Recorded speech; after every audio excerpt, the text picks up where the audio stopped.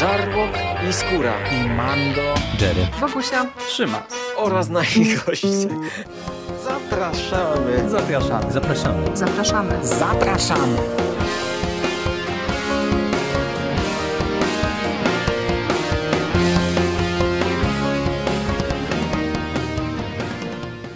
Witamy bardzo serdecznie w kolejnym odcinku konglomeratu podcastowego. Ja nazywam się Hubert Spandowski, czyli Mando, i jest ze mną dzisiaj Michał Rakowicz, czyli Jerry. Witam Ciebie bardzo serdecznie. Cześć. Cześć Mando, witam wszystkich. I tak jak obiecaliśmy całkiem niedawno, powracamy do Gwiezdnych Wojen, do książkowych Gwiezdnych Wojen. Dzisiaj kończymy e, nową trylogię Trauna. Pogadamy sobie o książce Star Wars Traun Zdrada i najprawdopodobniej kończymy omawianie książek gwiezdnowojennych z nowego kanonu, ale o tym więcej na koniec. E, trzeci tom Trauna, krótkie wprowadzenie ode mnie. E, po pierwsze, ramy czasowe. To jest e, czwarty sezon e, Rebelsów, czyli nie pamiętam, ale no to już jest jakieś tam z pół roku przed e, mm, epizodem czwartym maksymalnie chyba. E, w czwartym sezonie Rebelsów e, Traun na jakiś czas opuścił Lotal, udał się na Coruscant i wrócił tak naprawdę na finałową bitwę, na końcówkę serialu. No i w te ramy tutaj właśnie wpisuje się ta książka. Zaczynamy od tego, że Traun mm, zostaje wezwany na Coruscant i zostaje wmanewrowany w zagrywki polityczne pomiędzy dyrektorem Krenikiem a gubernatorem Tarkinem. Dyrektor Krenik chce pozyskać fundusze na budowę Gwiazdy Śmierci, fundusze, które przeznaczone są na projekt TIE Defender, który prowadzi e, wielki admirał Traun. Mm, No i e, tego dotyczy ta rozmowa i właśnie tak jak mówię, e, widzimy już te pierwsze zagrywki pomiędzy, te tarcia pomiędzy Tarkinem a Krenikiem, a Traun e, trochę nieświadomy tego wszystkiego, chociaż e, pewnie bardziej świadomy, a niekoniecznie tym się interesujący, mm, daje się wmanewrować. Okazuje się, że transportery z e, dostawami do projektu Gwiazdeczka, czyli do Gwiazdy Śmierci, są atakowane przez jakieś stworki kosmiczne i na skutek zniszczenia jakichś tam kabli, przewodów e, e, skaczą e, w nadprzestrzeń i gdzieś tam znikają. E, Dostawy e, są ograniczone przez to, ponieważ no, duża część dostaw nie dociera do Gwiazdy Śmierci. Traun dostaje tydzień na mm, e, pokonanie tego problemu. Zgadza się oczywiście na to. Jeśli mu się to uda, pieniądze, kredyty zostaną przeznaczone na TIE Defender. Jeśli mu się nie uda, to imperator zamknie projekt TIE Defender i przekaże te e, kredyty na Gwiazdę Śmierci. No i powiem ci, że już ten punkt wyjścia, chociaż spoko, ale mnie nastawił tak sobie, bo już wiedziałem, że to będzie kolejna misja, jakaś trauna, która e, tak naprawdę nie ma związku ani z pierwszym tomem, ani z drugim. Oczywiście tutaj będą, ona się połączy z wątkami wcześniej zapoczątkowanymi, ale jednak to znów będzie jakiś, jakaś kolejna sprawa odcinka tak naprawdę. Mhm, trochę tak jest, ale mi się ten punkt wyjścia bardzo podobał, ale przede wszystkim e, chyba ze względu na to, jak to jest wszystko napisane. My żeśmy przy okazji drugiego tomu sporo dyskutowali o e, formule, jaką sobie obrał e, Zan e, przy drugim tomie właśnie i, i to, że to nie do końca m, e, działało. Tutaj e, moim zdaniem to, że e, mamy ten czas akcji tak bardzo zawężony, no bo to się faktycznie rozgrywa wszystko w ciągu dosłownie kilku dni, cała No, książka, e, to bardzo dobrze działa na e, samą historię, E, bo ta historia jest szybka, jest efektowna, zwroty akcji e, gonią, gonią po prostu kolejne zwroty akcji, E, nawet jeżeli mamy rozpisane to na kilka drużyn, no bo bardzo szybko e, tutaj w całą tę sprawę okazuje się, że zostają wmieszani e, nie tylko e, imperialni, ale także przede wszystkim dynastia Cisów. Po, powróci nam Eli Vanto przy okazji właśnie powrotu też Cisów na arenę. Pojawią się ponownie Gryskowie, których widzieliśmy w tym drugim tomie i to naprawdę bardzo ciekawie jest wszystko prowadzone i, i i, mi się od początku to podobało, ale właśnie przede wszystkim właśnie przez taką szybką akcję i ja trochę mimo wszystko się nie zgadzam z takim podejściem, że wiesz, że to, mm, to, to jest taka osobna sprawa odcinka, bo tutaj ja miałem cały czas poczucie, że jednak i ten pierwszy tom i ten drugi, one są dosyć ważne. W tym sensie, że ten pierwszy tom jednak nam budował całą postać Wanto, E, która tutaj jest dosyć istotną postacią w, w tym tomie znowu i bez tego pierwszego tomu no w zasadzie no, my nie wiemy kim on jest i dlaczego te relacje pomiędzy nim a całą ekipą wyglądają tak jak wyglądają, bo tutaj relacje pomiędzy nim a Traunem są istotne, pomiędzy nim a imperialnymi innymi, e, pomiędzy nim a Chisami i, i, i to wszystko mhm. jest fajne z drugiego tomu mamy Grysków, e, którzy e, no, też e, to jak oni tam byli pokazani i to do czego ten drugi tom nas prowadził, tutaj też jest istotne. No bo jednak Zaniusz nie stara się specjalnie wyjaśniać kim oni są, tylko no, mamy trochę kontynuację właśnie tych wątków, które tam były zapoczątkowane.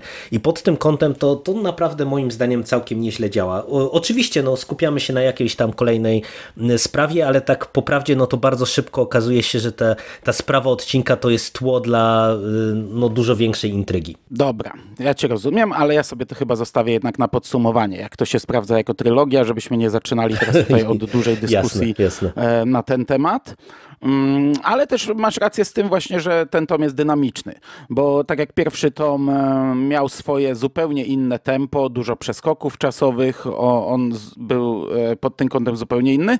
Drugi tom e, niby miał też szybką akcję, ograniczoną do tak naprawdę krótkiego przedziału czasowego, ale przez to, że było kilka linii czasowych, kilka wątków, to całość się zrobiła e, raczej męcząca i wcale nie taka szybka, a tutaj faktycznie mamy, mamy dynamikę, tutaj zasuwamy. Niby na samym początku to jest też dzielone na dwa wątki, bo mamy Trauna i Chisów e, z Ilajem Wanto osobno i na przykład, nie wiem, dwa rozdziały o Traunie, rozdział o e, Chisach, czy, czy tam jakieś fragmenty, no plus jeszcze ten podział na, na tych bohaterów mm, z drugiego planu, mm, którzy też dostają jak zawsze swoją rolę, ale to tutaj się bardzo szybko zazębia. Oni się bardzo szybko łączą i to tak naprawdę wtedy już idzie jednym torem.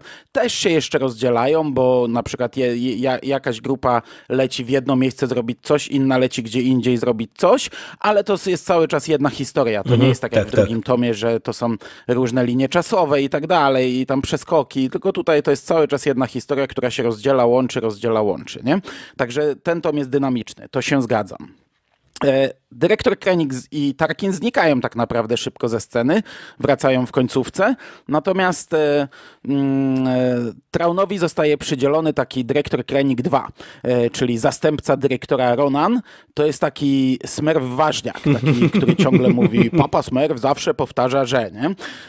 To, to tutaj dyrektor Krenik to jest najlepszy, dyrektor Krenik to wszystko wie i w ogóle dyrektor Krenik powinien dostać wszystkie pieniądze Imperium, a Gwiazdeczka to w ogóle jest najlepsze, co może powstać.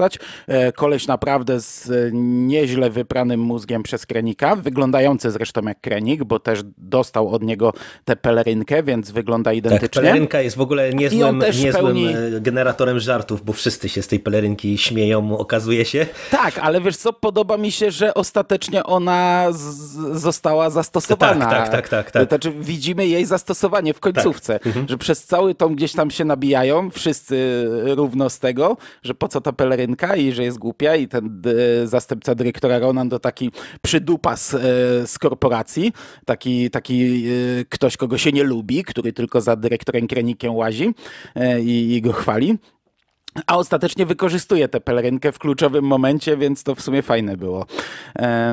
Natomiast on też pełni rolę znów takiego Watsona, tylko trochę innego, bo tak jak w starej trylogii Trauna, Palon był takim e, no, podwładnym Trauna i on nie rozumiał, ale nie kwestionował. Tak jak Eli Vanto był też gdzieś tam e, poniżej Trauna, e, to on trochę rozumiał i nie kwestionował. Tak ten to jest taki, ale ten Traun jest głupi, Jezu, co on robi? Przecież on nic nie rozumie. Dyrektor Kranik to by zrobił dużo lepiej, nie?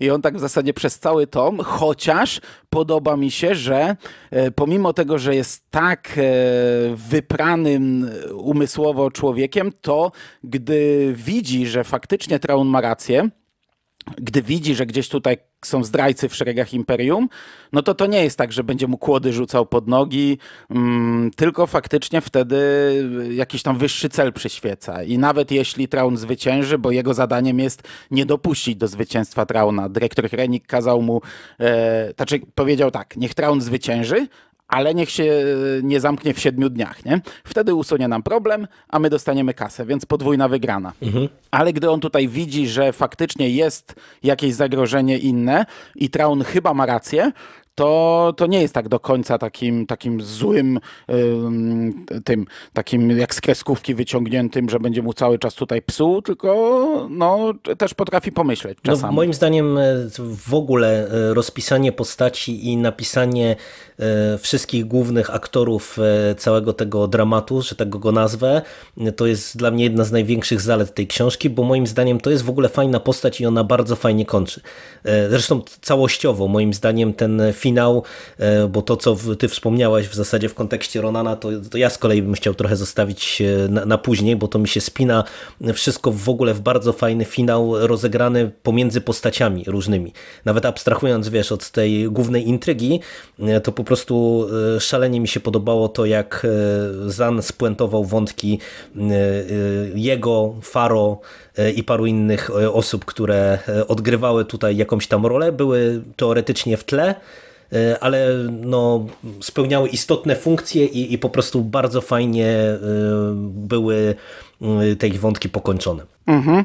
Nie no, Commodore Faro to w tym tomie w sumie wyszła całkiem nieźle już na, powiedziałem, że to postać drugiego planu, ale to w zasadzie jest pierwszoplanowa postać.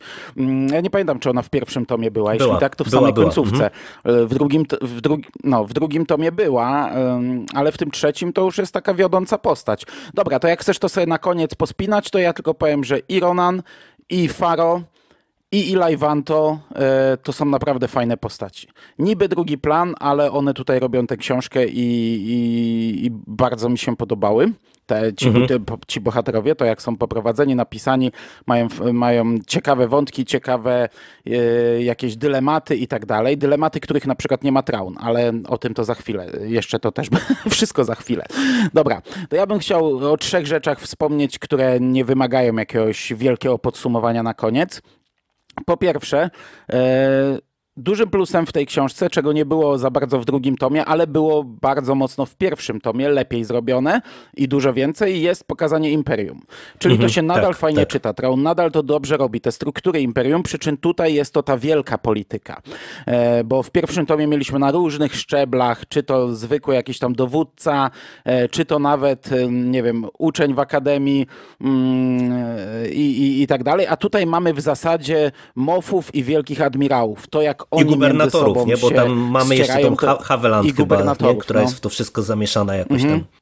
No i to jest fajnie pokazane. Traun jak zwykle gdzieś tam jest na boku i robi swoje i gdzieś od tej wielkiej polityki się odcina, nie rozumie jej, nie chce jej poznawać, nie chce w tym uczestniczyć, a oni e, prowadzą swoje gierki i, i, i, to Traun nadal robi dobrze. E, to jest nadal e, duży plus tej książki. Mhm. Ja się pod tym totalnie podpisuję. To była jedna e, z fajniejszych rzeczy, jeden z fajniejszych pomysłów w ogóle na, na tę powieść, nie? że właśnie trochę e, pokazać nam E, ty, ty, tą, tę wielką politykę e, od tej strony imperialnej, ale e, pokazać, że to, no to jest takie trochę bagienko, nie? że jak w sumie w każdej polityce, że to nie jest tak, że to, są, to jest jedna struktura, jeden monolit tak naprawdę, tylko że to, to co mhm. my często podkreślamy przecież w kontekście funkcjonowania imperatora i Wejdera, gdzie on mu cały czas rzuca kłody pod nogi i tak naprawdę ich relacja jest oparta na jakichś tam wzajemnych wzajemnych podchodach i rozgrywkach, to, to w zasadzie można powiedzieć, że to się przenosi na całą strukturę imperialną, no bo na każdym szczeblu dowodzenia no to tak funkcjonuje, nie? że to są wszystko e, giereczki, napuszczanie jednych na drugich, walka o wpływy, walka o kasę, e, czasem e, podyktowana ideologicznie, no bo tutaj niektóre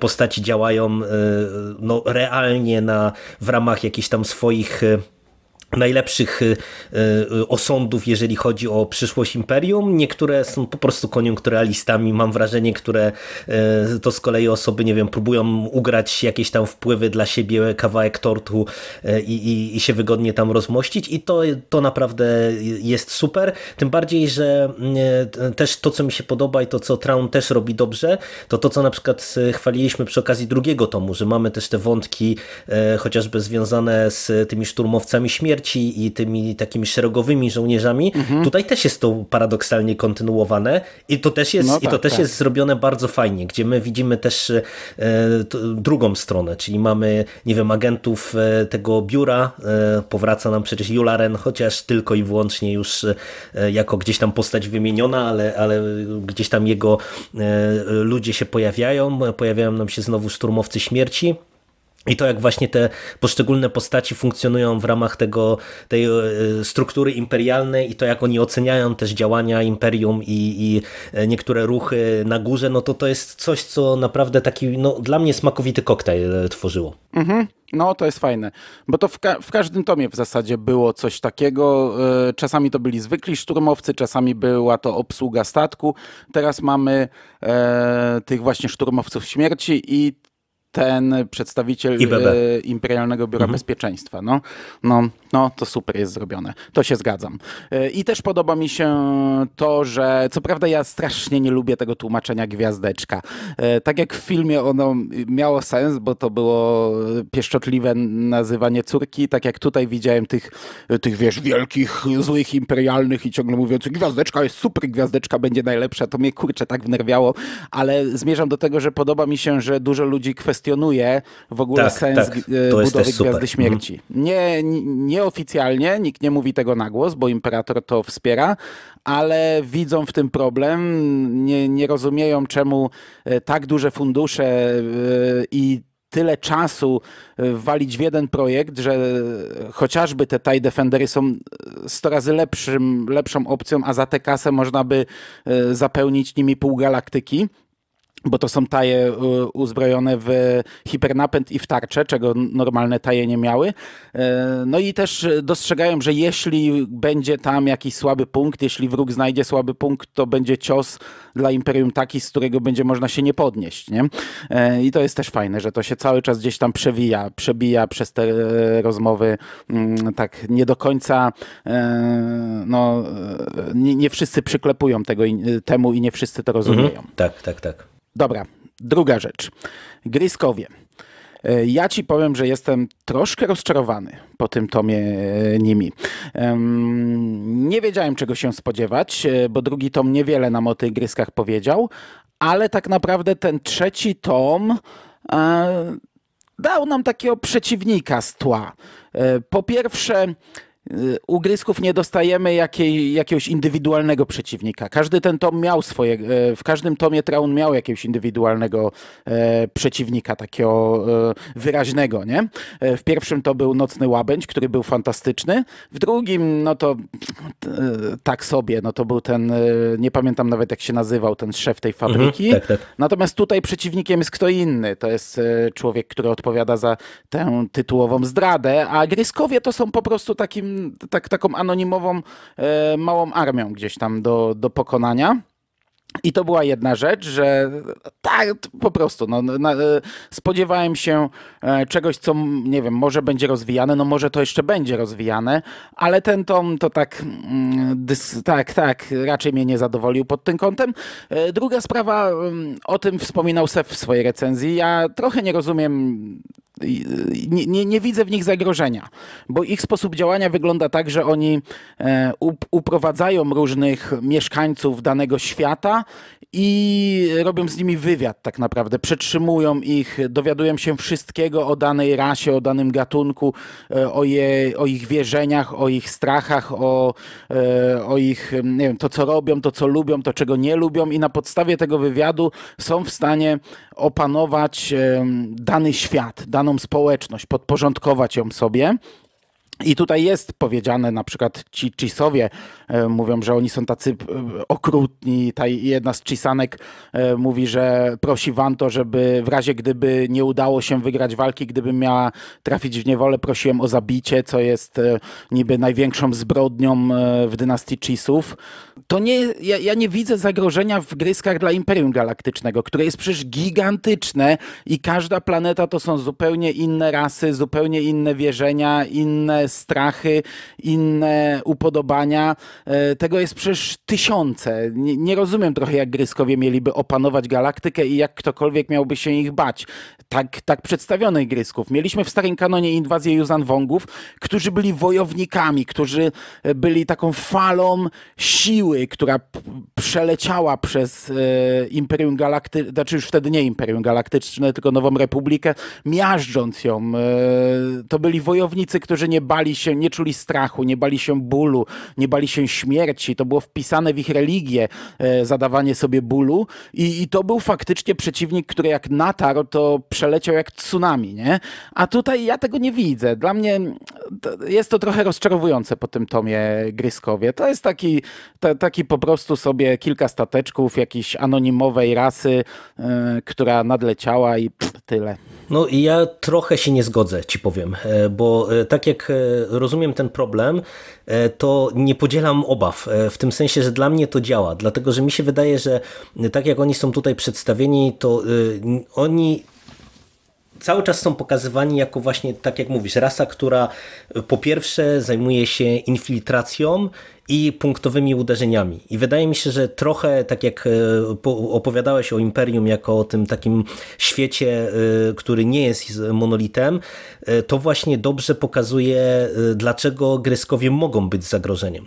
No bo tak po prawdzie, jak się przyjrzymy Imperium, no to nawet w trylogii Trauna cały czas wraca też jak mantra to, że na przykład, nie wiem, na dalekich rubieżach to w zasadzie władza imperialna jest bardziej teoretyczna niż praktyczna, e, że poza Coruscant e, no to wiele tych światów e, jest niepodporządkowanych. No przecież mieliśmy właśnie cały wątek przecież tych związany z tymi kopalniami, z tym wszystkim w pierwszym tomie, gdzie, gdzie widać, że tam wszystko buzuje. I wiesz, z tego punktu widzenia to ja totalnie kupuję, że rasa, która zajmuje się w, czy atakuje trochę właśnie tak po cichu, przekabaciwszy i podporządkowawszy sobie jakąś tam nację, może być realnym zagrożeniem e, e, dla Imperium właśnie na takiej zasadzie, że wiesz, przejąć e, jedną planetę, drugą, odciąć od jakichś zasobów i, i tak krok po kroczku i z tego nizowego mogą e,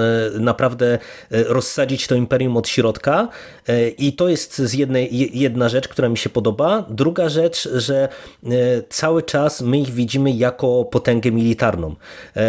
Zwróć uwagę, bo to w sumie no, nie będzie to spoiler, że Gryskowie w tym tomie są w pewien sposób pokonani, ci, z którymi się spotyka Traun i nasza ekipa, ale przecież to jest tylko jakaś tam forpoczta. Przecież to cały czas jest mówione, że to jest w zasadzie jakaś tam ekipa tylko i, i można powiedzieć, że oni doznają porażki trochę na własne życzenie. Trochę dlatego, że e, lekceważą e, właśnie Imperium i, i Chisów, te, połączone armie i gdyby nie to, to w zasadzie mogło, mogłaby ta potyczka się zakończyć zupełnie inaczej, a te ich działania właśnie na obrzeżach pokazują, że no to jest rasa na tyle zaawansowana i na tyle dobrze uzbrojona, wyszkolona i też zdeterminowana, bo przecież tutaj ten wątek, który poruszyłeś przy okazji Yuzan Wongów, czyli e, że oni nie boją się śmierci, że są podporządkowani e, tej e, swojej religii, no to tutaj nie ma podłoża religijnego, ale w zasadzie to podporządkowanie e, sprawie i gryskom jako jakiejś tam nacji widać na każdym kroku, bo przecież tutaj jednym z głównych motywów, jednym z głównych problemów, z którymi Traun się cały czas boryka przy okazji grysków, to to, że oni mają taktykę spalonej ziemi, że jeżeli, nie wiem, ktoś ich e, nakryje, mówiąc brutalnie, no to, e, to najlepiej nie zostawić nic, ani e, statków, ani informacji, ani ludzi, I tyczy się to także ich przedstawicieli. I pod tym kątem, no to wiesz, to ja cały czas czuję, że to, to może być duże zagrożenie.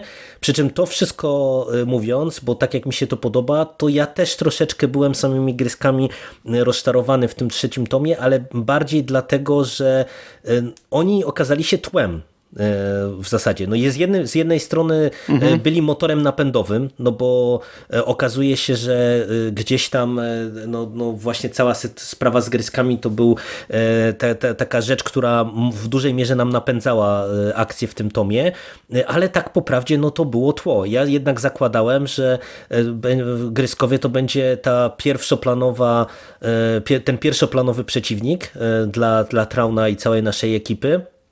I na przykład, e, co e, to, to, to też może mały spoiler, ale zakładałem po tym tytule zdrada, że być może właśnie będziemy mieli do czynienia z rozgrywką na zasadzie, że wiesz, będziemy mieli grysków po jednej stronie, po drugiej stronie e, Trauna i na przykład dynastię, ale na zasadzie takiej, że Traun będzie musiał odpowiedzieć sobie na pytanie, czy w starciu z gryskami, nie wiem, ma poprzeć na przykład właśnie dynastię, czy imperium. A ta zdrada w tytule, ona się tyczy tak poprawdzie zupełnie czego innego, e, co, co mnie trochę właśnie zaskoczyło mhm. i to że, to, że jednak Gryskowie są tylko takim e, no, no, tłem dla zupełnie innej rozgrywki, no to, to mówię, to pod tym kątem dla mnie trochę było e, rozczarowanie, no chociaż ja już przy okazji drugiego tomu tak wyrażałem takie obawy, że niestety z racji na to, że właśnie no później o Gryskach nic nie słychać, no że to może być takie coś, co nam tutaj utną i, i, i do niczego nie, to nie doprowadzi, no i niestety na tym etapie tak jest. Chociaż ja cały czas uważam, że, że to jest pomysł, który można by było bardzo fajnie ograć w przyszłości. No w sumie to ma sens, no bo skoro za jakieś pół roku y, będzie e, ta wojna y, opisana, w, przedstawiona w epizodach mm, ze starej trylogii, no to, to ma sens, że nie, nie, po pierwsze, że zostało ucięte, po drugie, że to był, było tylko kilka stateczków. No, gdyby doszło do gigantycznej, gigantycznej bitwy, wojny na pół roku przed wojną z Sojuszem Rebeliantów, no to to pewnie gdzieś powinno być wspomniane, także to ma sens. E, Gryskowie są do rozwinięcia. Ja nawet mam nadzieję, że, że cały czas, że w tym okresie pomiędzy trylogiami e, zrobi się jakaś inwazja Grysków i może jakaś dłuższa seria mm, albo taki cykl jak e, High Republic. Mm, ale no właśnie są trochę rozczarowujące jak na finał trylogii, e, w którym niby mieli być przeciwnikiem, ale dobra, spoko, to rozumiem. Natomiast e, tu bym przeszedł już płynnie do tego, co ty powiedziałeś o Traunie i w sumie chwilę mógłbym o Traunie pogadać i z tego można przejść do finałowej bitwy, bo to ma ścisły związek. To jest trochę minus to, co powiedziałeś, mhm. bo od początku trylogii w zasadzie to było budowane i ciągle gdzieś się przewijało. Czy ty jesteś wierny Nawet Imperium, czy ty jesteś przewija. wierny e, no, dynastii Chisów. Ale, tu, ale właśnie problem jest taki, że Traun chyba ani razu nie ma takiej myśli przez całą trylogię. To wszyscy inni mają z tym mhm. problem. Wszyscy inni ciągle zadają to pytanie.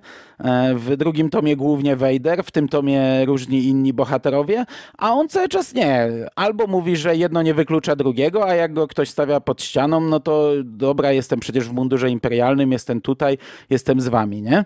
No i wydaje mi się, że jeśli przez trzy tomy jest to wątek wiodący, to powinien być spuentowany. I ja też liczyłem trochę po tym tytule zdrada i po tej okładce, że to będzie znaczące, że on stanie przed takim dużym dylematem, e, którą stronę konfliktu wybrać. Znaczy to nie jest konflikt, bo oni tutaj e, mają sojusz tak naprawdę przez cały ten tom. E, jego grupa imperialna i ta grupa dynastii Chisów. Co prawda no, jest to konflikt, jeśli chodzi o całe Imperium Galaktyczne, bo on ani nie zgłasza nowego przeciwnika, ani też no, nie ma raczej pozwolenia na, na ten sojusz. No ale nie ma tego dylematu. On powinien tu być i to by było dużo lepsze, gdyby on został jakoś spuentowany. A tak naprawdę mamy finał, gdzie e, imperator znów prowadzi z nim rozmowę na ten temat i z tej rozmowy nic nie wynika i po prostu on zostaje odesłany na lotal, żeby odegrać e, finał e, serialu Rebelianci. I, I to jest minus, jeśli chodzi o rozpisanie e, Trauna, że to nie, nie ma punktu kulminacyjnego. Tak, no tu pod tym kątem się zgadzam. No mówię, no dla mnie to było e, w zasadzie podstaw podstawowe rozczarowanie, jeżeli chodzi o, o ten tom, bo tak jak tutaj w zasadzie wszystko mi się bardzo podobało, tak, tak tutaj pod tym kątem to to no tak jak mówisz, to powinno było wybrzmieć i chociaż no z drugiej strony to, co dostaliśmy w zamian, to mi się nawet podobało, bo to był fajny wątek całościowo, natomiast no, mamy do czynienia z trylogią. No i z tego punktu widzenia to ona wypada tak sobie, e, tym bardziej, że właśnie, no tak jak mówisz, tutaj jeszcze mamy ewidentne podprowadzenie pod finał rebeliantów e, w końcówce, e, no, no więc no to jest taka trylogia, nie trylogia, nie? No jednak ja od trylogii raczej oczekuję właśnie, że ona będzie jakąś tam zwartą, zamkniętą historią, a można powiedzieć, że te trzy książki rozbudowywały Trauna, ale no, ale nie do końca go spuentowały.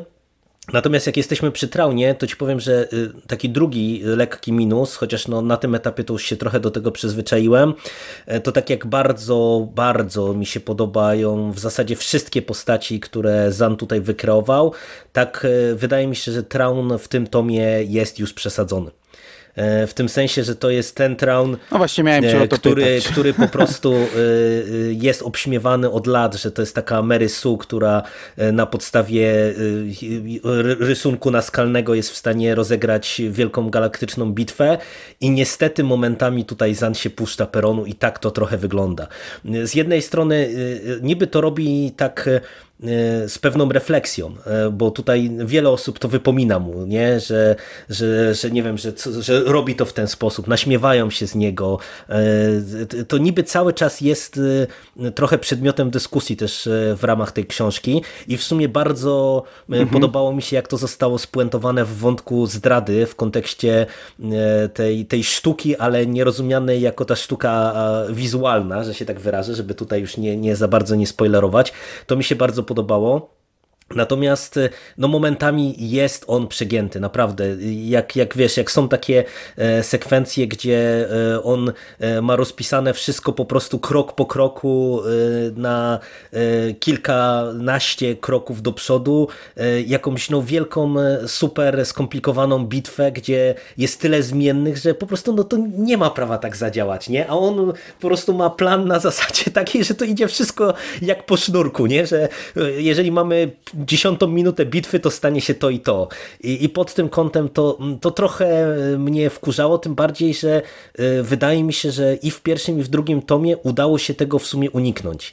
E, że, że jednak ten Traun, on był bardzo kompetentny, był bardzo e, ogarnięty, faktycznie potrafił wszystko rozgrywać tak, jak mu się podobało, ale widać było pewne potknięcia, widać było pewne wątpliwości, nie wszystko mu się udawało, a w tym tomie jednak no, no tak jest, nie? że w zasadzie, no to mówię, on tutaj jest o, mhm. o kilkanaście kroków e, przed wszystkimi i pomimo tego, że niby jest ten wątek, że on nie rozumie tej wielkiej polityki i tego wszystkiego i tak faktycznie trochę jest, to i tak okazuje się, że e, on nie rozumie, bo nie chce, bo uważa, że to jest mu niepotrzebne, bo i tak e, rozgrywa wszystkich tak, jak jemu jest to no. potrzebne i, i, i jak jemu się podoba. No, to się zgadzam, że to jest przesadzone, bo e, pomimo tego, że przy pierwszym tomie ja wielokrotnie podkreślałem, że Traun wygrywa bitwy na papierze, mhm. nie?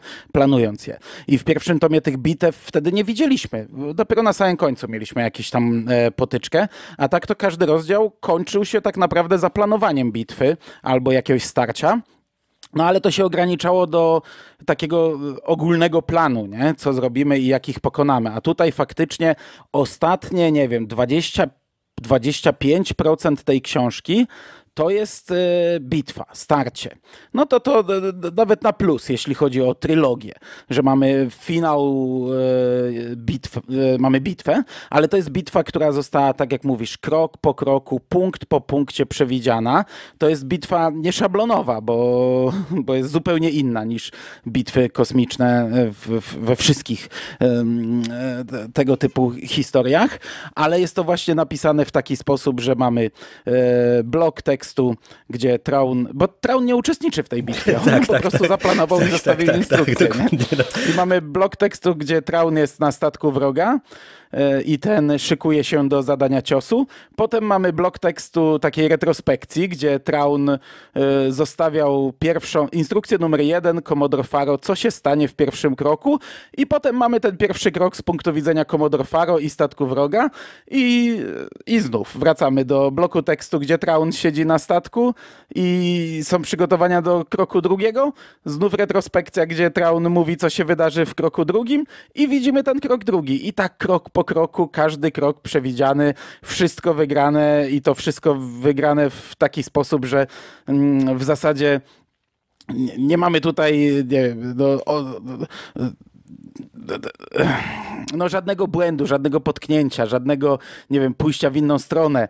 E, On tam wszystko przewiduje, z której strony padnie strzał, y, kto podleci, ile stateczków, co się wydarzy e, i, i tak dalej, i tak dalej. To jest przegięte, to jest przesadzone, szczególnie, że robi to na podstawie gdzieś tam jakiejś sztuki sprzed e, lat tak. e, tworzonej przez e, tego człowieka.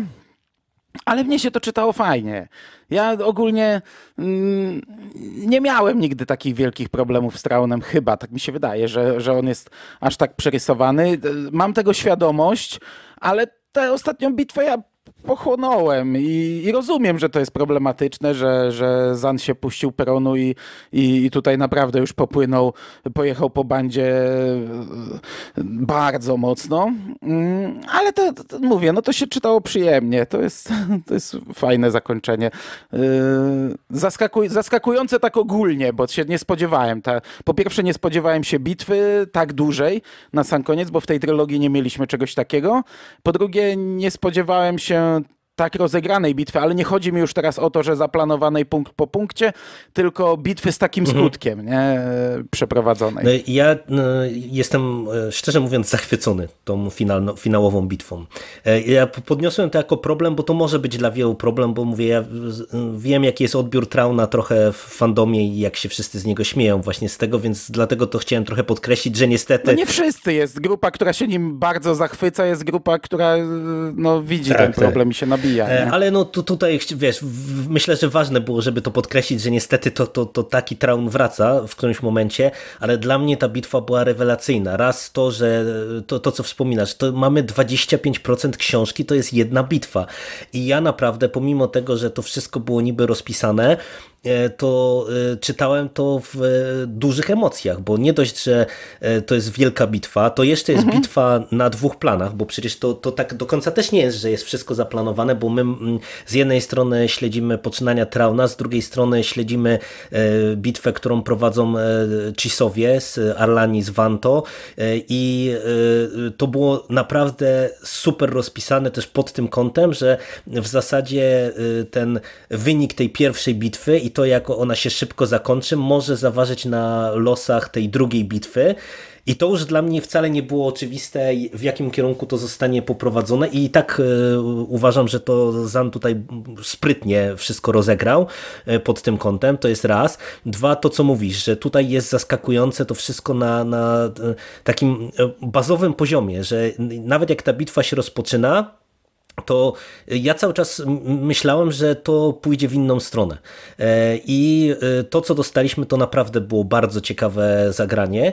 E, I co więcej, też podobało mi się, że tutaj w tej bitwie, pomimo tego, jak niby część tej rozgrywki Traun rozplanował punkt po punkcie, to w zasadzie cała ekipa, która była w tym tomie budowana, począwszy od Vanto, poprzez Ronana, Faro a, aż na Arlani skończywszy, oni wszyscy tutaj mają rolę do odegrania i odgrywają ją w ciekawy sposób.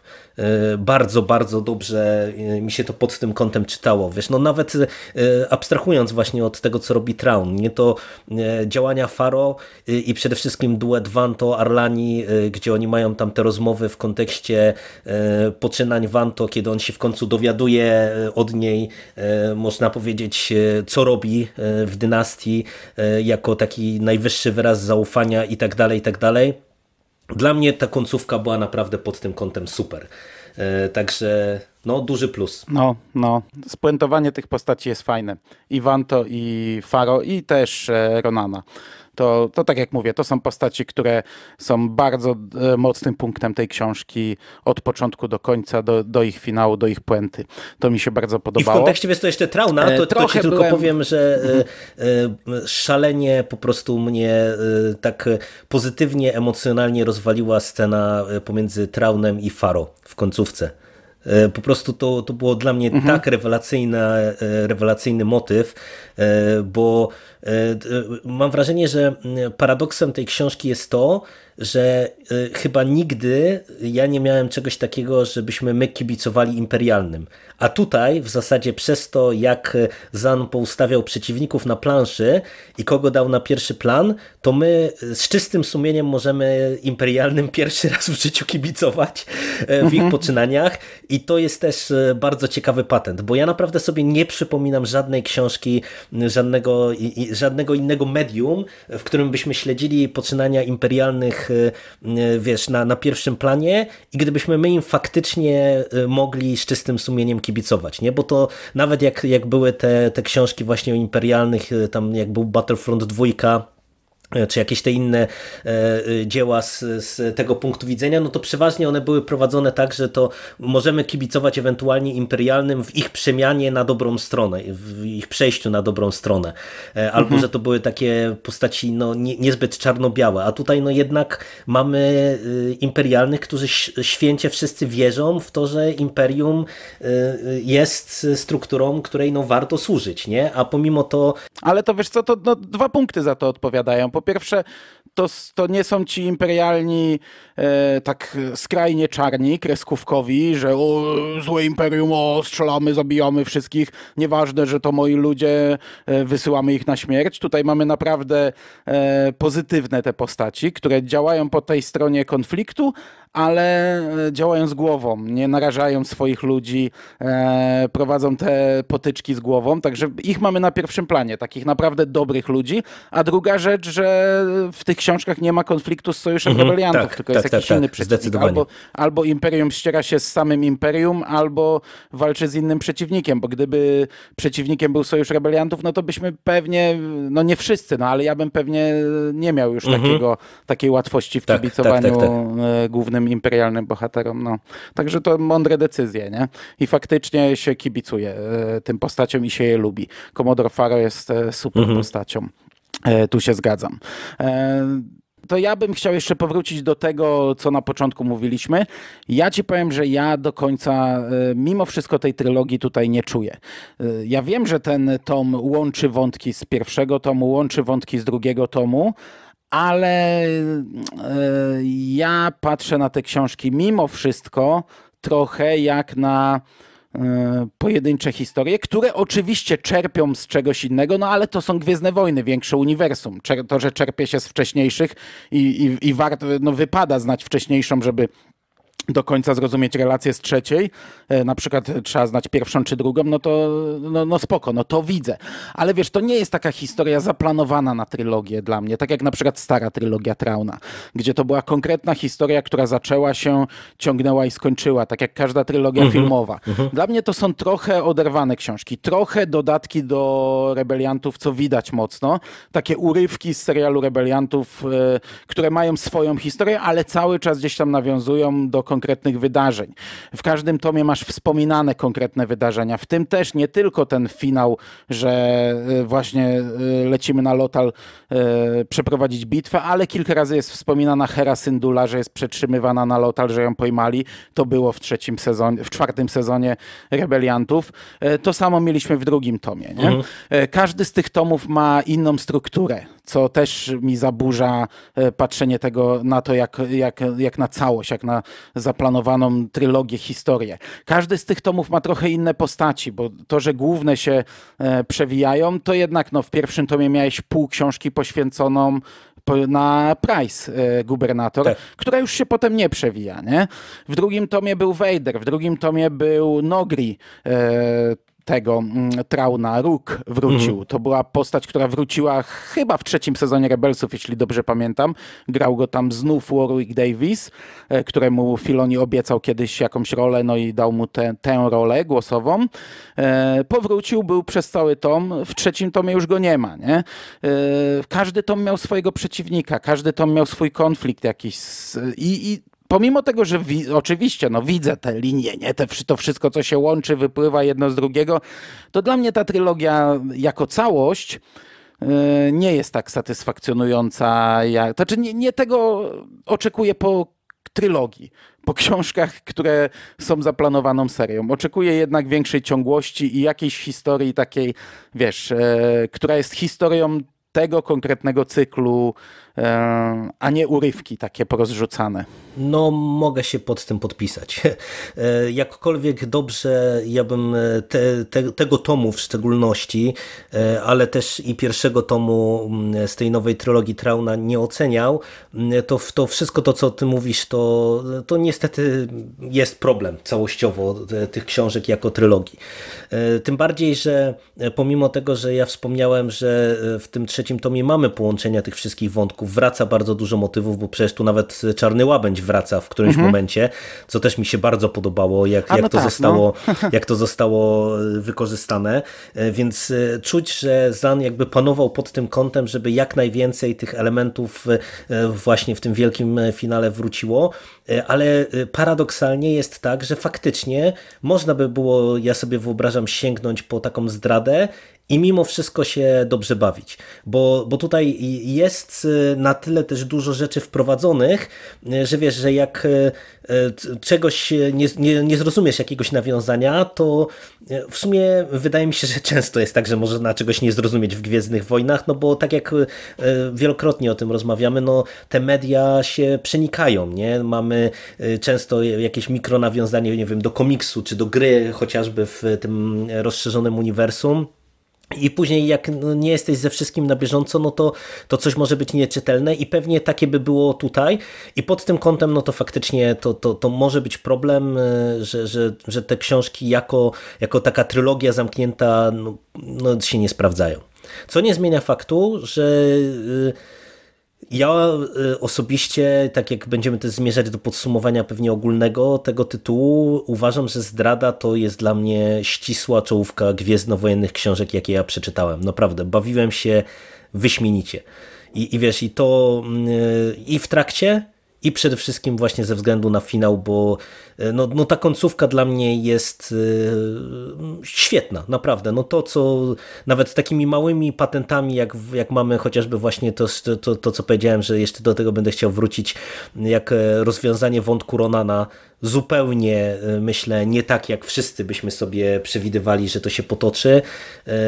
To, to, to są takie rzeczy, które mi pokazują, że ten kult Zana jest w pewien sposób uzasadniony wśród wielu czytelników, no, no bo widać, że on naprawdę panuje nad tym, co chce opowiedzieć i jak chce to zrobić. Nie? I pod tym kątem, jako trylogia nie, ale i tak uważam, że przede wszystkim pierwszy i ten trzeci tom z tej nowej trylogii to są naprawdę świetne książki. A szczególnie właśnie Zdrada, bo, bo Zdrada mm. mi się bardzo, bardzo podobała. Mm -hmm. Znaczy nie, mnie się chyba pierwszy bardziej podobał, ale zdrada też jest niezła.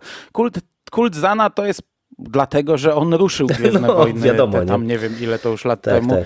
I, I, rozbudował je trzema książkami, tak jak mało kto rozbudował później, bo wcześniej nikt, ale, ale te książki też pokazują, że no to, to nie jest facet, któremu się raz udało, bo jednak zmierzył się drugi raz z tym samym tematem, zrobił drugi raz to samo, nie? Ale właśnie to jest ciekawe, kultowa, nie? że podszedł zupełnie inaczej do tego tematu, nie? No, no. No, napisał kultową trylogię Trauna, która po prostu jest, wiesz, yy, nad nią tylko Bóg dla wielu fanów, a teraz napisał ją drugi raz, druga trylogia Trauna, która nie stanie się tak kultowa, ale no, bo, no, bo już teraz no, no, zupełnie inne realia, nie? Zup to, to na, na, choćby napisał, nie wiem jak cudownie, to by nie stała się tak kultowa, bo nie jest w stanie rozbudować Gwiezdnych Wojen tak, jak rozbudowała je tamta trylogia, ale właśnie, no podszedł do tego inaczej, zrobił zupełnie co innego. Zrobił tak naprawdę prawdziwą trylogię Trauna, bo tamta trylogia to była historia Luka, Lei i Hanna i masy nowych postaci, którzy walczyli z Traunem, który był, był postacią drugoplanową tamtej trylogii, a tutaj faktycznie od strony Trauna pokazał Trauna, pokazał Imperium, podszedł zupełnie inaczej, zrobił to dobrze. To jest naprawdę dobra seria. Tak jak mówię, że no, może nie gra to jako trylogia, no bo mówię, możesz wziąć drugi tom i go mhm, przeczytać. Tak, tak. W, w, przypadku tamtej trylogii nie mogłeś wziąć Ciemnej Strony Mocy i ją przeczytać, bo, bo to, to była bezpośrednia kontynuacja e, dziedzica Imperium, nie? E, ale to są dobre książki. Nawet ta druga, chociaż jest najsłabsza z nich wszystkich, to ona też e, gdzieś tam od pewnego momentu łapie wiatr w żagle i, i doprowadza nas gdzieś tam do, do, do, do, ciekawej, do ciekawych rozwiązań i jakoś tam fajnie puentuje tę historię środkową. Także ogólnie jestem bardzo zadowolony, że to przeczytaliśmy. Ja też, ja też i ja ci powiem, że też jestem ciekaw trochę jak wyglądała ta współpraca pomiędzy twórcami Rebeliantów i, i Zanem, w tym sensie, że e, na ile pewne rozwiązania E, były jego, które później e, wykorzystywał serial i odwrotnie, bo pod tym kątem też mi się podobało, że mm, to jest e, to, to co ja chwalę od początku tego nowego kanonu, że czuć, że mamy realne przenikanie się różnych mediów. Nie, nie to, co robiły nowe filmy, czyli że w zasadzie to niby mamy rozszerzone uniwersum, a tak naprawdę to filmy to olewały, tylko że faktycznie ja miałem poczucie w trakcie lektury, że to jest jakiś tam element większej całości i że pewne pomysły, które Zan tutaj e, nam e, wprowadził w tej nowej trylogii, no to są rzeczy takie, takie też, które można e, rozwijać dalej. I postaci, i, i pewne, pewne wątki. Pewnie się to nigdy nie wydarzy, podejrzewam, ale no, samo to, że mam poczucie takie, że wiesz, że to są takie rzeczy, które można by właśnie jakoś jeszcze rozbudowywać, to jest dla mnie fajne. Myślę, że tu nie było współpracy jakiejś wielkiej. No pierwszy tom to miał sw swoje ramy czasowe. Drugi wskoczył w okienko między trzecim a czwartym sezonem, gdzie był e, większy przeskok czasowy trzeci wskoczył w okienko w czwartym sezonie i to wszystko, nie? I tak naprawdę tylko łączył się e, końcówkami plus e, wpisywał gdzieś tam e, wiadomości, co się dzieje na froncie rebeliantów w środku albo coś takiego, nie? No ale fajnie, no to fajnie, to, to jako element, jako rozbudowa serialu Rebelianci to jest fajna mhm. rzecz. No dobrze, czy my mamy jeszcze czas, żeby sobie spuentować tak, tę naszą tak, rozmowę? Tak, no to Działajmy. Mamy jeszcze czas. No to jak się okazało, niestety całkiem niedawno, e, Traun Zdrada był ostatnią książką e, wydawnictwa Uroboros wydaną w Polsce. E, Uroboros, co prawda takie, takie przypuszczenia chodziły, ludzie ich pytali o to wcześniej, ale no, mi nawet przez głowę nie przeszło, że to może być prawda, ale Uroboros ogłosił, że kończy wydawanie książek z tego uniwersum i te dwa ostatnie tomy Trauna, no chwali im się, że je wydali. Musieli wydać w mikronakładzie, bo one momentalnie zniknęły ze sklepów. Co prawda oni zrobili wyprzedaż e, w momencie, gdy ogłosili chyba 20, 50% zniżki na wszystkie książki. Już teraz duża część książek osiąga gigantyczne ceny, a te ostatnie, najnowsze, które powinny najdłużej tak naprawdę zalegać na półkach, musiały być naprawdę wydane w mikronakładzie, bo one od razu zniknęły. Także już sobie papierowych książek raczej nie kupicie, jeśli byście chcieli przeczytać. W zasadzie tylko e-book zostaje, chyba że macie 100 zł na wydanie. Po pierwsze, ja, dla mnie to była bardzo smutna informacja i nie wiem, czego to było pokłosie. Wiesz co, ja to na dwa sposoby patrzę. Oczywiście mówię jako laik, kompletnie nie wiem. Nie? No, oni, oni tego nie napiszą. Ja nie pracowałem nigdy w żadnym wydawnictwie, więc nie znam się. E, w pierwszej chwili pomyślałem sobie, że e, książki się słabo sprzedawały, a Uroboros, e, no E, serwował opóźnienia. Nie wiem, czy spowodowane przez nich, czy przez kogo innego. E, przecież od dwóch lat oni już nie ogłaszali planu, bo gdy ostatni raz ogłosili plan, a wydali z tego tylko jakąś tam część, no to posypała się na nich fala, fala żółci, jadu, nienawiści, gnoju i przestali to robić. I ja w pierwszej chwili sobie pomyślałem, że to po pierwsze jest e, pokłosie sprzedaży słabej, po drugie właśnie tego jadu, hejtu, nienawiści, bo to jest taki czarny PR, który się ciągnie wtedy za wydawnictwem od lat. Oni tam pracują też ludzie, którzy no, których to pewnie męczy. I jeśli to się nie równoważy zbytnio, jeśli mogą wydawać co innego e, i nie spotykać się z taką reakcją, pomyślałem sobie, że zrezygnowali dlatego. I wtedy sobie pomyślałem, że nikt inny tego nie weźmie, no bo kto inny to ma wziąć, mhm. nie? skoro sytuacja będzie się powtarzać. Kasy z tego pewnie nie ma wielkiej, a, a nienawiść uderzająca w wydawnictwo y, ogromna, nieporównywalnie większa. Z drugiej strony potem mi napisał kumpel, który pracuje w wydawnictwie innym, że on jednak śledzi te topki empikowe i za każdym razem jak książka była wydawana nowa, to ona się znajdowała w top 10 empiku. I, i nie, nie, wiesz, nie wiadomo na ile to jest miarodajne, ale ludzie z wydawnictwa mi mówią, że jednak empik nadal jest czołowym, e, że tak jak my nie wyobrażamy sobie kupowania książek w empiku, Mm, i kupujemy gdzieś tam e, taniej, co w sumie psuje rynek i co odpowiada za te ceny, ale kupujemy w taki sposób. Tak jednak masa, masa takich casualowych czytelników korzysta z Empiku i skoro to się znajdowało w topkach, to znaczy, że jednak się sprzedawało. I wtedy popatrzyłem na to z drugiej strony. Skoro się sprzedawało, to czemu zrezygnowali, nie?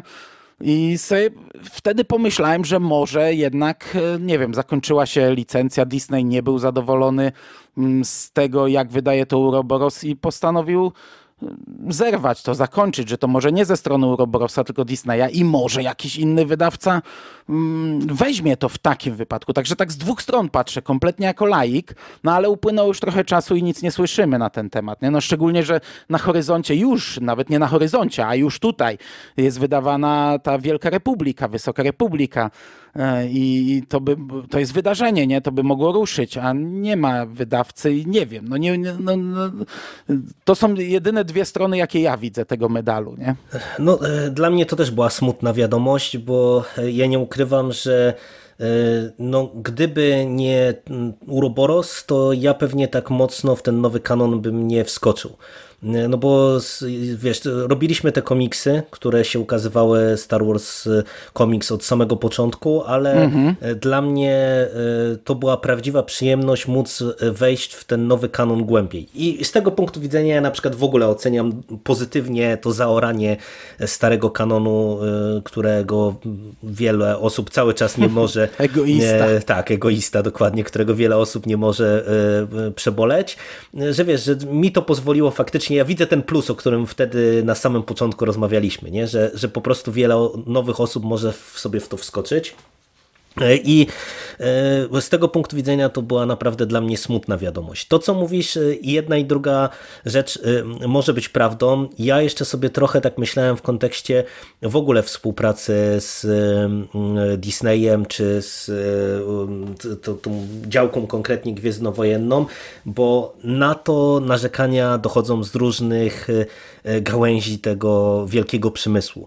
Na to są narzekania przy grach, przecież to też o to, że EA teraz straciło wyłączność dla Gwiezdnych Wojen, to też się trochę mówi o tym, że e, z jednej strony Disney był nie do końca zadowolony, z drugiej strony EA też trochę e, mniej lub bardziej otwarcie narzekało na współpracę z Disneyem w kontekście gier, że, że wiesz, że to jest długi proces, e, uciążliwy. I ja się zastanawiam też pod tym kątem, nie? czy tutaj coś na przykład nie było jakimś tam problemem, nie? Że, że być może kwestie uzgadniania jakichś tam rzeczy, mhm. dogrywania tego, czy to nie jest upierdliwe. No zresztą wiesz, no nawet patrząc na Egmont, który wydaje komiksy, no zobacz, mieliśmy e, od e, borderline prawie e, z newsami, no bo najpierw ogłosili, że koniec magazynu, po, tym, po czym nagle się okazało, że jednak wszystko wraca, Czyli to też pokazuje raczej, że te rozmowy nie są pewnie łatwe, gwiezdnowojenne. No i ja cały czas po cichu liczę, że... A oni też sprzedali przecież tak. książki. Egmont też się pozbył dokładnie, książek. Dokładnie tak. I wiesz, ja jednak po cichu cały czas liczę, że e, ktoś może e, to łyknie. No raz, że mamy właśnie High Republic, które by było kolejnym fajnym punktem wejścia w Gwiezdne Wojny, e, a dwa, że wydaje mi się, że jednak jest jakaś baza czytelników. No bo jednak, tak jak nie wiem, chociażby Sef u siebie zachęca cały czas, żeby czytać po angielsku, czytać na bieżąco, bieżąco, e, to e, ja ci powiem, że wydaje mi się, że jest jednak cała masa e, takich no, zwykłych czytelników, którym się po prostu nie chce, którzy chcą dostać jakąś tam porcję no, Gwiezdnych no, no, no, Wojen. Ja, dla mnie to jest koniec, nie? No, no właśnie. Dla mnie to jest koniec, bo ja, so, ja wiem, że trochę się boję czytać po angielsku, ale mm, ja może i bym zrozumiał. Nigdy nie próbowałem czytać powieści po angielsku i może bym nie miał z tym problemu, ale dla mnie książka ma być relaksem. Ja mam usiąść i się tym relaksować, a jakbym czytał po angielsku, to jest dla mnie skupienie. Ja się muszę skupiać, te, rozszyfrowywać te słowa czasami i to nie jest relaks. I ja z tego powodu nie, nie usiądę do czytania Gwiezdnych Wojen po angielsku. A druga rzecz, że chociaż znam to uniwersum dosyć dobrze, kiedyś to by była w ogóle tragedia. Teraz znam jednak nazewnictwo, to to dla mnie też by był problem. Te nazwy własne yy, pomieszane z angielskim, a pewnie wielokrotnie bym się zastanawiał, czy to jest słowo, którego nie znam, czy to jest nowa rasa gwiezdnowojenna. No, no, no. to, to, tak się tego też trochę obawiam. Ale dla mnie to jest koniec książek gwiezdnowojennych z nowego kanonu, póki ktoś tego w Polsce nie będzie wydawał. No i wiesz, y, dla mnie jeszcze na przykład y, dochodzi ten aspekt, że tego naprawdę wychodzi bardzo dużo. No jak ja y, śledzę na bieżąco te, te książki, które się pojawiają, które się pojawiały, no to przecież to nawet po ilościach braków, jakie my w tej chwili mamy w nowym kanonie, widać, ile tego jest. I wiesz, no, ja jednak zawsze tak patrzyłem na to z perspektywy na przykład wydawcy, że no aż taka ilość tych książek to wcale nie jest też super dobre, nie? No bo no umówmy się, te, te książki, no nawet tak jak o nich rozmawialiśmy, ich jakość jest różna, to nie jest tak, że wszystkie są super.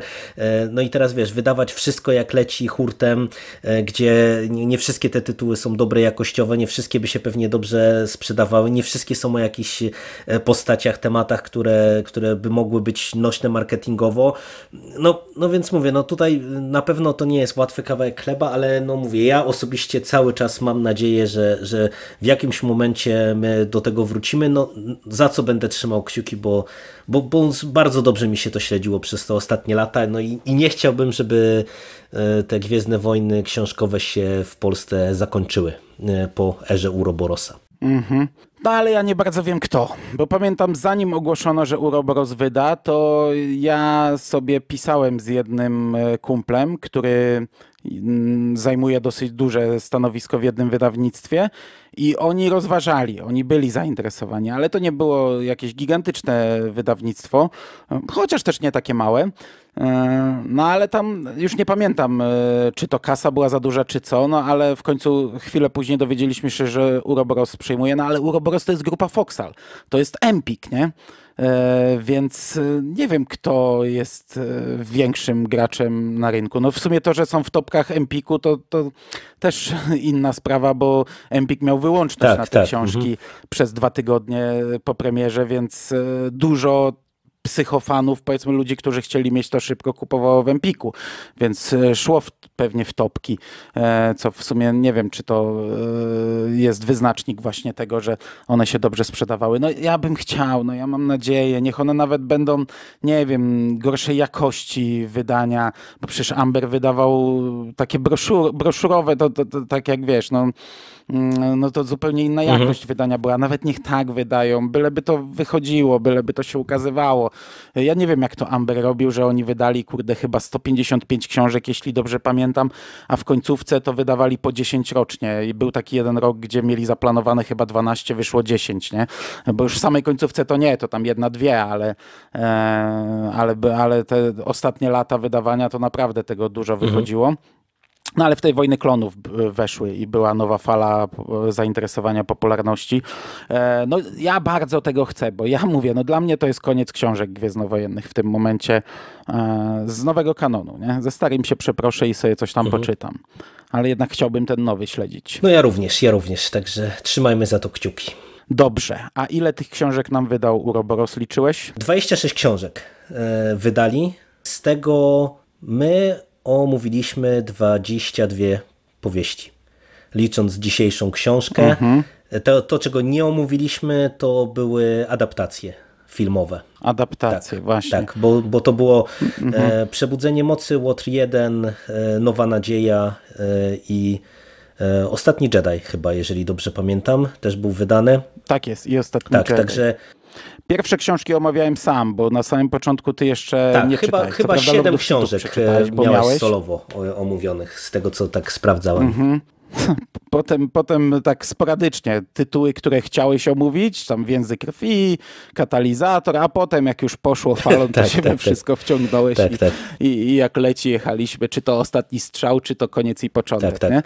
Także no, z mojego punktu widzenia omówiliśmy wszystkie, bo ja adaptacji po prostu nie lubię. Mm, Co prawda chcę przeczytać Łotra 1 kiedyś, bo to ponoć jest bardzo dobra książka, więc jeśli przeczytam, to omówię. E, Nową trylogię miałem nagrywać. Mam notatki, mam tonę notatek na komputerze jeszcze chyba z, o, z 2005 roku, e, 2015, przepraszam, jak była premiera e, Przebudzenia Mocy, wtedy czytałem adaptację. Ja ją nawet chyba czytałem półtora raza, bo e, wtedy chyba ją doczytałem do połowy, a potem e, jakoś dwa lata temu przeczytałem całą. Ostatniego Jedi zacząłem i w ostatnim Jedi naprawdę można by zrobić ciekawy podcast, bo tam i tłumaczenie leży i kwiczy i sama, samo podejście do adaptacji jest bardzo ciekawe. Przeczytałem z pięć rozdziałów i, i chyba dopiero piąty przedstawiał wydarzenia tak jak w filmie pokazane, a tak to wszystko jest gdzieś obok z innego punktu widzenia, z innej strony. E, także może kiedyś do tego siądę. No, a nigdy nie czytałem adaptacji żadnych innych. Nie, nie czytałem starej trylogii, nie czytałem nowej, gdzie e, w sensie prequeli, gdzie Zemstę Sithów wszyscy wychwalają pod niebiosa, że to jest fantastyczna e, ekranizacja, ale nie mam na to ochoty. No, trochę. Może kiedyś się uda, może kiedyś nabiorę ochoty. No ale omówiliśmy wszystkie książki, które są rozszerzeniem uniwersum, bo adaptacje filmowe to dla mnie nie jest rozszerzenie uniwersum, także e, to na podcastów niestety dużo i niestety mało, bo niestety koniec e, z mojego punktu widzenia na chwilę obecną. No ale y, tak na... na, na... Ty planujesz czytać po angielsku? Słucham? Planujesz czytać po angielsku? Poszło już, ta fala poszła Wie, tak daleko? jeszcze, jeszcze nie wiem. Cały czas się bije, czy nie sięgnąć po y, te High Republic, bo po prostu bardzo mnie to ciekawi, jak, jak to wypada. Y, I, I po prostu rozważam, czy y, te, tego nie sięgnąć, y, a, a, a wiesz, jakbym sięgnął, to kto wie, jakby się to skończyło. Ale, ale no zobaczymy. Na ten moment nie, nie będę się tutaj deklarował, bo, bo nie wiem jeszcze, jak to moje bicie z myślami się potoczy. Natomiast jeszcze na, na koniec Uroborosa jedną rzecz bym tylko chciał powiedzieć tak na koniec, że y, podobało mi się bardzo to, że te książki były tak różnie wydawane. Że jak y, wiesz, y, zrobiłeś y, ładne Tak zdjęcie całej, całego kompletu tych, tych powieści, to naprawdę ten taki wizualny chaos, by niektórzy powiedzieli, ale ta wizualna różnorodność, ja powiem od siebie, bardzo mi się podobało, że, że, że jednak oni podchodzili tak jak, wydaje mi się, że też do takich książek trzeba podchodzić, że indywidualnie, nie? że jeżeli mamy trylogię Jedną, drugą traunę, ona była wydana e, fajnie, e, dobrze się to prezentuje wizualnie, te pojedyncze książki, naprawdę one się e, bardzo godnie prezentowały i pod tym kątem to, to też mam nadzieję, że jeżeli ktoś by to przyjął, no to taka taktyka by była kontynuowana, żeby się tam nie, nie, nie wtłoczyć wiesz, w jakieś ramki takie serii, serii po prostu, tylko właśnie no tak, tak do tego podchodzić. Fajna sprawa. Ale niech nawet wydają pod serię, byleby wydawać. tak, tak. Ja wiesz co, ja to mówiłem wielokrotnie, w tylu podcastach to mówiłem, to czy to jest odbicie oryginalnych Mhm. jasne, wydań, jasne. tak wyglądają oryginalne wydania, ale ja tak lubię, bo ja nie, nie jestem fanem wydawania od linijki, serii od linijki, bo taka seria prędzej czy później się skończy i wtedy kolejne książki nie pasują, ale zresztą nie lubię, tak jak komiksy z jakiejś kolekcji i masz półkę e, e, taką wiesz, od linijki, wolę taki chaos w komiksach, gdzie każdy grzbiet jest inny, nawet jeśli e, ten komiks jest o Batmanie i ten jest o Batmanie, wyglądają zupełnie inaczej, nie? E, I lubię indywidualne podejście. Jeśli to jest seria tak jak Gwiezdne Wojny, to lubię jak jest zachowane na przykład logo, no i tu jest zachowane logo Gwiezdnych Wojen, chociaż za każdym razem gdzieś tam inaczej umieszczone, inna wielkość i tak dalej, ale jest to logo, a reszta całkowicie indywidualnie. Ja bardzo lubię oryginalne wydania Kinga B5, bo na przykład, nie wiem, zachowują e, czcionkę Stephen King, chociaż to też nie. Teraz patrzę na dwie półki, to gdzie nie spojrzę, to inna, ale powiedzmy, że bywały takie lata, że zachowywali, a tytuł zawsze jakoś inną czcionką wpasowany w książkę, grzbiet zawsze inny, bo z grafiką i tak dalej. To są fajne wydania, to się wtedy patrzy na taką kolekcję i to fajnie wygląda. I dla mnie Uroboros świetnie wydawał e, Gwiezdne Wojny. Mm, Amber robił to bardziej od linijki, chociaż tam też są zmiany, Mhm. są różnice, ale to dlatego, że przez lata to było wydawane i, i to się trochę zmieniało, ale jednak to była seria od linijki. Jak się patrzało z przodu, to na front to w zasadzie mm, prawie wszystkie książki były takie same. Na grzbietach się trochę zmieniało. E, także to jest plus. To jest plus. A jeśli chodzi o czytanie po angielsku, to ja jeśli bym spróbował Wysoką Republikę czy Wielką Republikę, to zacząłbym Od tej młodzieżówki. od A młodzieżówki. też o tym myślałem, bo- właśnie, żeby no, bo to by zacząć, było bo, bo tak. Stwierdziłem, że to pewnie jest krótsza przede wszystkim też powieść, więc to, to mm, Krótsza, łatwiej. inny Tak, język, e, by to jakoś e, łatwiej weszło. Jakbym to przeczytał, to może bym wtedy sobie kupił w końcu Creepshow, e, bo to też jest w zasadzie młodzieżówka chyba takim językiem pisana i przeczytał. No zobaczymy. zobaczymy. Zobaczymy. Dobra, ty nie ma co przedłużać w tym układzie. Mhm. Tak jest. No to yy, my kończymy na chwilę obecną. Z Gwiezdnymi Wojnami oczywiście nie, bo za chwilę będzie w Egmont, yy, wielka fala Egmontu, która nas yy, zacznie zalewać powoli komiksami, więc tego będzie dużo, a potem może seriale i tak dalej, a potem filmy kinowe, jak nam kina otworzą. E, natomiast my kończymy na chwilę obecną z książkami i z tą konkretną książką i z tą konkretną trylogią. Ja Ci bardzo dziękuję za rozmowę. Dzięki bardzo. A słuchaczom dziękuję za ten czas poświęcony nam i do usłyszenia w przyszłości. Cześć!